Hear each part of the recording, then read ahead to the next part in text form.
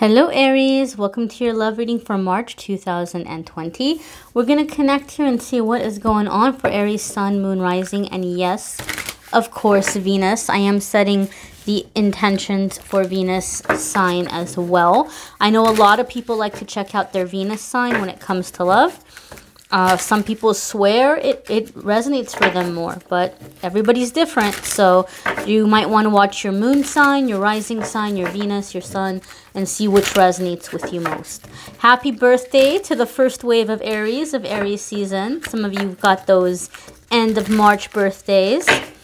Let's see what is happening for Aries, sun, moon, rising, and Venus.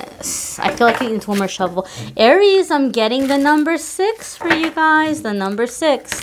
Um, you might have somebody that's trying to buy your love in the month of March. So let's see what the cards have to say. One, two, three, four, five. We are having the full worm moon as well uh, early on in March, and this is going to be bringing a lot of transitions for a lot of people. So your first card here is Eight of Swords. So what did I say? I feel some of you do have somebody trying to buy your love, um, or some of you are feeling stuck in a relationship or situation uh, that's affecting your your love life. Like you're feeling like you can't leave the relationship because finances aren't good. Or you might be really kind of overemphasizing your financial situation and telling yourself that you know subconsciously you can't have a relationship or uh, you're not going to be happy in the relationship until money is better. Uh, there might just be too much importance being placed on finances. Because when i see six or when i get that feeling of number six when i go into a love reading there's way too much importance putting, being put on money by both parties or one of the parties or somebody might be um, hurting your feelings and you get upset and they might turn around and like you know give you a nice watch or, or take you away on a little getaway or take you to a nice restaurant or or buy you something. And then it's like well now i feel like a jerk for complaining right? But at the same time you probably would rather that incident didn't happen and not have to go to the nice restaurant or not or not have to have somebody give you a present. So, so, you might be feeling stuck or you might be feeling trapped. There's a lot happening with communication energy. Um, right now, I'm feeling it. I'm picking it up on it. I'm seeing a lot of it in the personal readings I've been doing. So some of you might be feeling like you can't really express yourself or somebody's holding some kind of a debt over your head. Okay. When I see this card, Eight of Swords, Usually I'll get the feeling somebody's waiting to be rescued, but I don't get that vibe from you, Aries. At least not in the month of March. I don't feel like you're waiting to be rescued.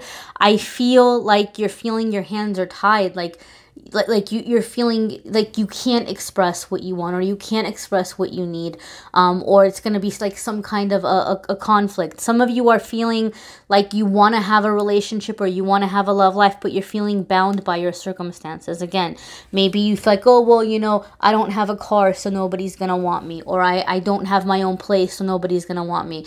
You have to clear those thoughts out of your head okay? Because it's an illusion. This being trapped is an illusion, okay?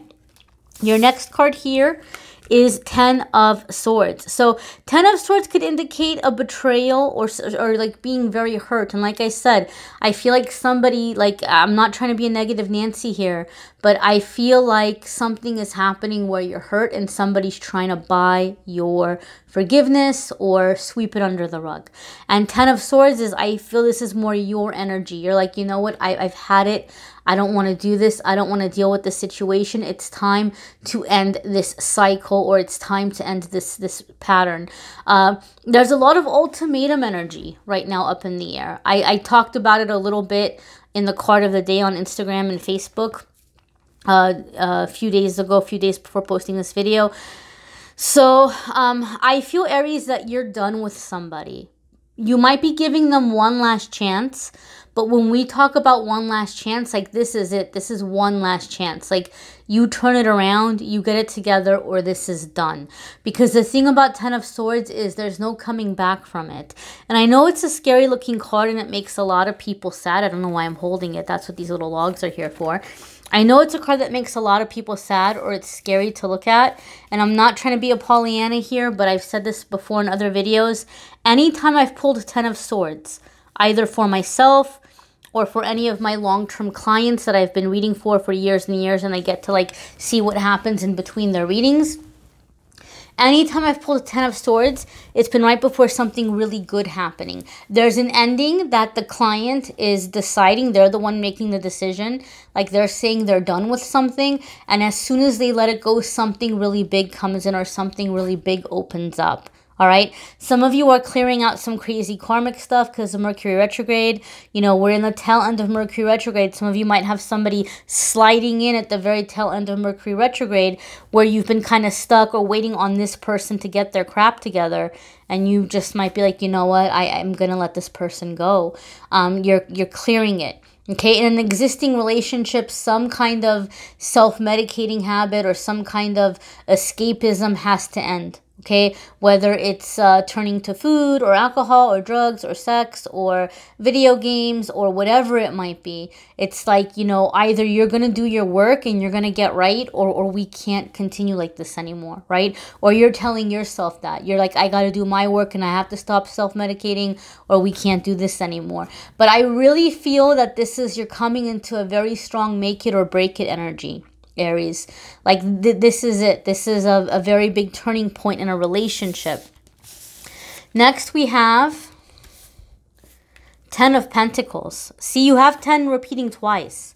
And 10 is a significant number because 10 is saying that you're in this energy of um, manifesting something or something is complete. Something has come full circle. It's done. It's finished.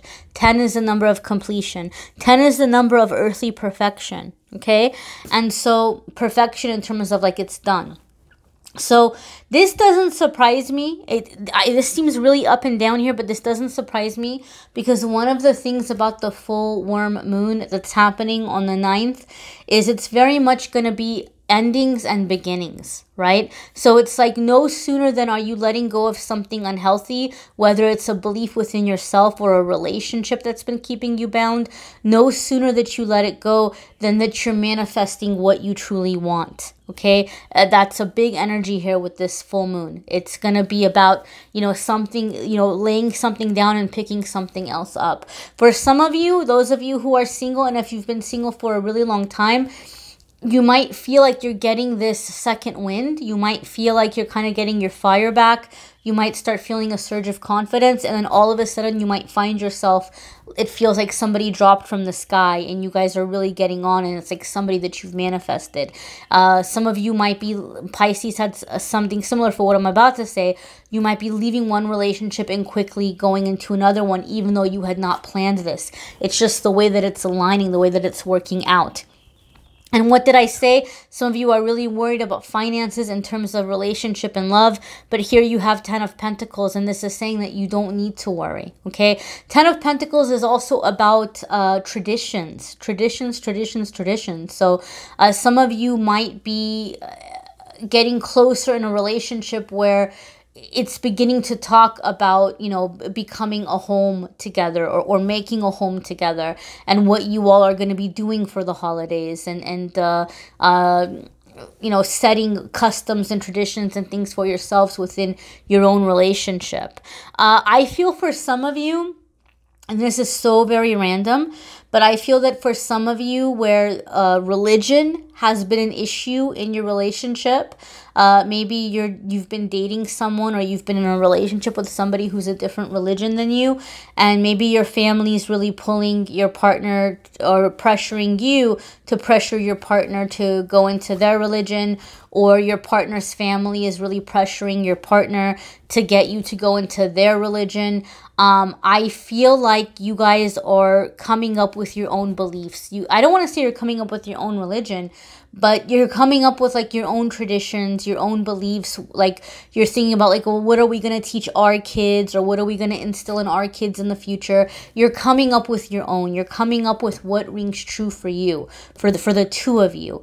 Um and there may be some tension here around that with that ten of swords you know somebody's family might be you know casting someone off saying oh well if you're gonna leave the religion then like you know we're not gonna have anything to do with you guys uh, but you're you're happy you're happy nonetheless okay uh, the next card here is Three of Swords.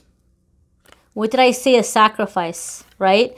Like you're happy, you're coming up with your own, but then something is ending, right? And there will be sadness or, or mourning from that, despite this happiness. You are going to have to grieve and you are going to have to release this loss. I know Three of Swords is a card that scares a lot of people.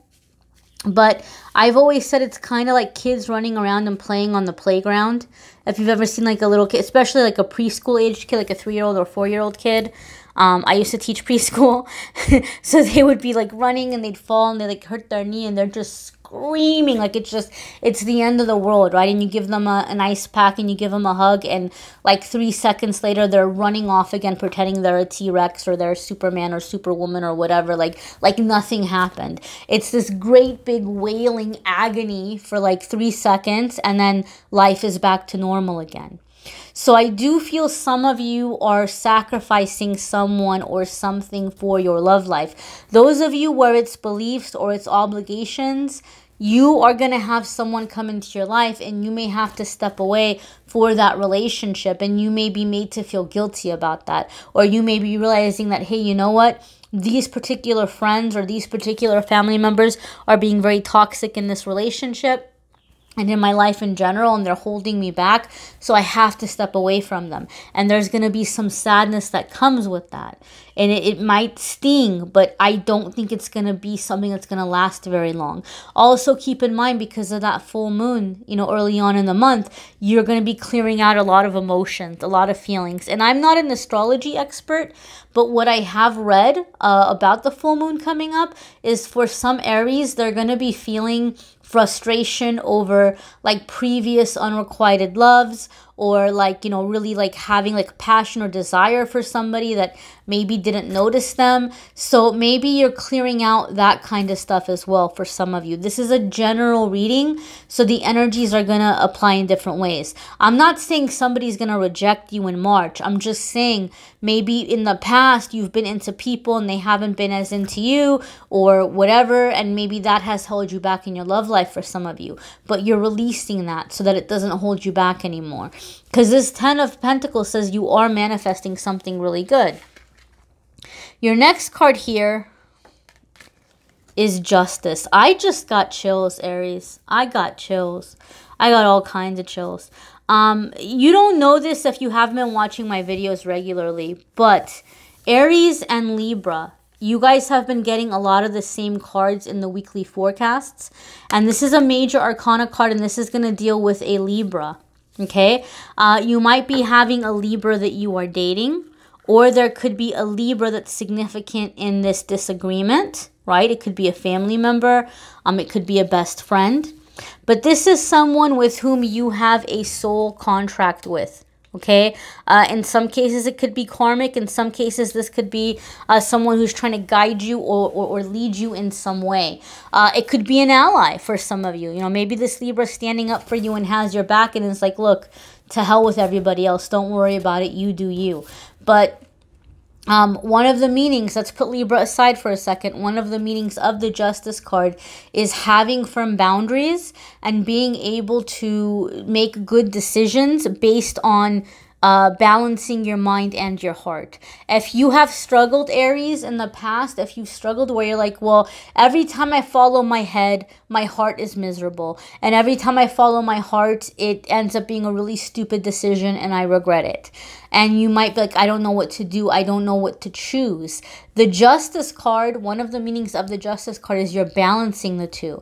You're coming into a balance of the head and the heart so that you're able to make good, balanced decisions and also set boundaries. Okay? Um, if you are in Aries there may be something around divorce or divorce energy that you are clearing okay? Maybe you've been estranged from someone and you're finalizing it. Or maybe you've had issues because of divorce energy that's been around you growing up or or uh, or uh, uh, somebody's getting divorced and uh, it's impacting you in some way, uh, whether it's making you lose your faith in love or making you feel worried, you're able to clear that out and get that fear out of your system.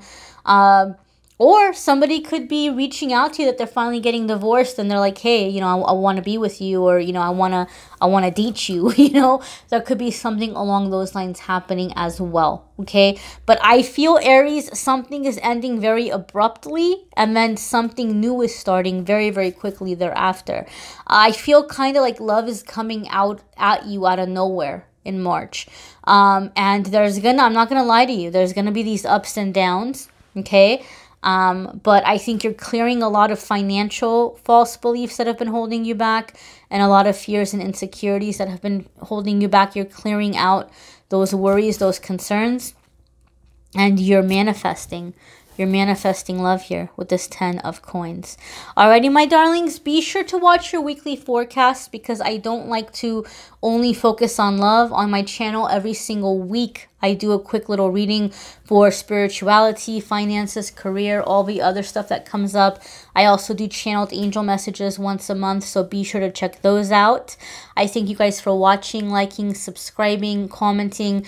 Be sure to uh, follow Amethyst Angel Light on Instagram and Facebook so that you can also see the daily messages, the card of the day, and the little pick a card game. Uh, thanks for watching, guys. Take care.